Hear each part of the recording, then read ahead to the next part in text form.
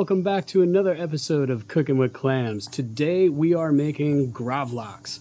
Gravlax is traditionally a cured salmon using brown sugar, salt, and dill. We are substituting the salmon with Long Island bluefish, better known as the yellow-eyed devil. Now, bluefish has a super high oil content. It's an oily, bloody fish.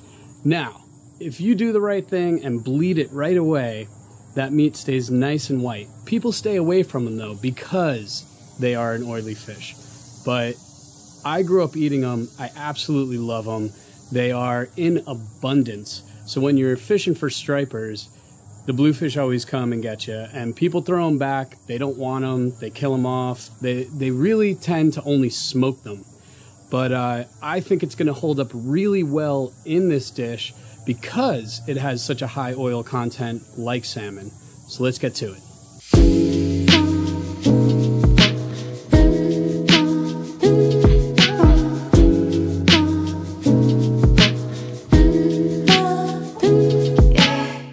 Okay, now that I have my two beautiful bluefish fillets, I have to make my curing mix, which is the brown sugar, salt, and dill. Now, there is one important measurement to this, and that is equal parts salt and sugar to 50%. Equal parts salt and sugar, 50% of the total weight of your fish. What that means is if your fish weighs out at one pound, you're going to measure half a pound of salt and sugar equal parts. Now, the other important thing is after we make that mixture and we rub it on the fish, put it in the fridge, the curing times. So 12 to 24 hours is going to give you a very, very light cure. It's still going to be a moist fish, something you can make a dip out of. Now, 36 hours is going to give you a little bit more of a cure, a little bit saltier, a little bit more chew.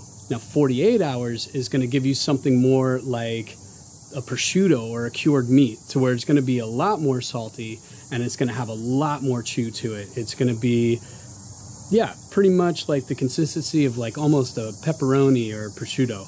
Um, I'm going to shoot for 36. I'm going to go right in the middle just in case.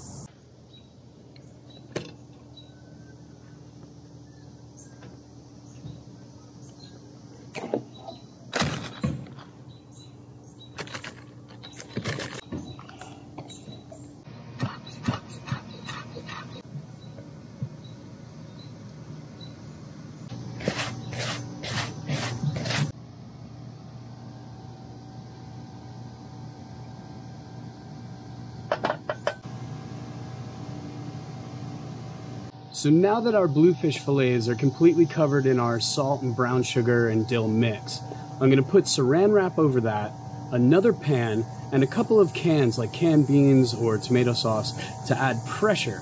And what the pressure is gonna do is squeeze out any of the moisture that the salt is drawing out of the fish to help cure it. That's why I also have it on a rack so that the moisture can fall down to the bottom pan. And then I'm gonna leave it in the fridge for 38 hours, so I'll see you in a day and a half. All right, it's been about two days. I let it go a little bit longer, uh, like I said, because it's the bluefish. So I wanted it to really cure all the way through. And uh, I had the weight on it. The weight was drawing out the moisture. And I took the weight off uh, because they were getting pretty flat and condensed. But um, now I have to take all the salt and sugar off. But wait until you see these fillets. They look amazing.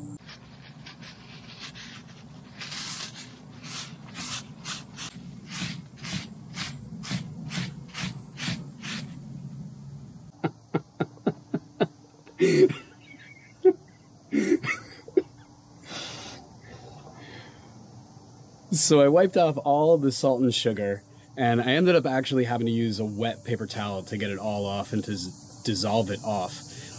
I tasted a piece and it was a little bit more salty than I wanted, and that's probably because I let it cure that extra 12 hours about. So if I was going to do it again, I would have stuck to my 36 hours. But take a look at this spread.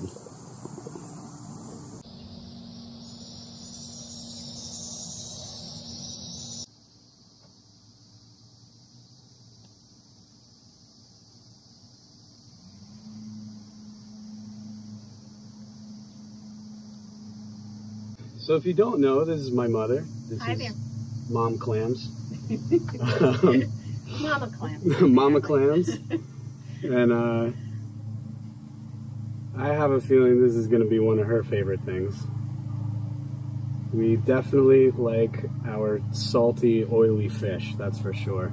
And a side note also, my sister grew these tomatoes and they cheated and had a slice of that and it was incredible.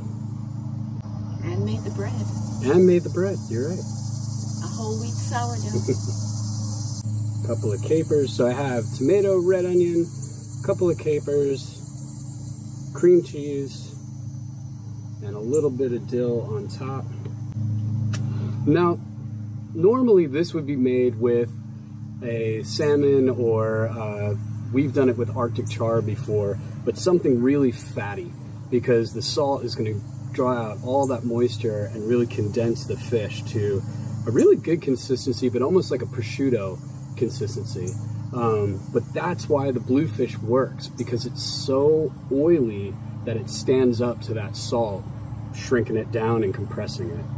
So, growing up in Brooklyn and Queens, would this be a Jewish deli item?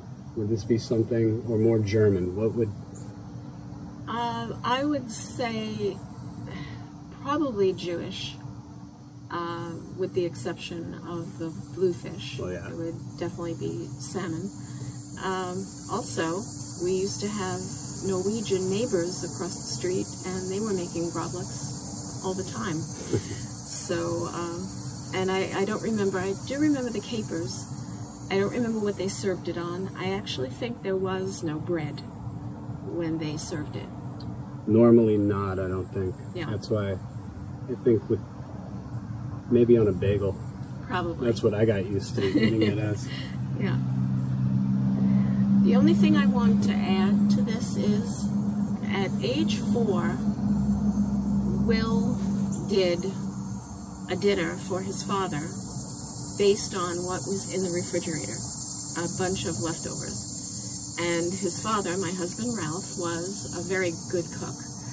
And after Will put his concoction together at age four, my husband looked at me and said, That is damn good. And he's only gotten better. I had to pay her to say that.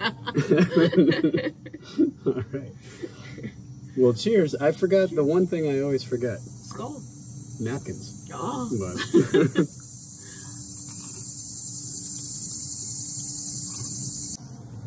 That's good. Very good. Yum. With everything else, the cream cheese, the bread, the tomato, I actually don't mind that it's as salty as it is because it cuts through all of those really rich, rich flavors. But that is good. And that is a fish that would be tossed away because people are going out trying to get stripers. They catch bluefish, they hate them, and they throw them back. They say they're too oily, too bloody. This is not fishy at all. It's really good. Well, that's going to do it for this episode.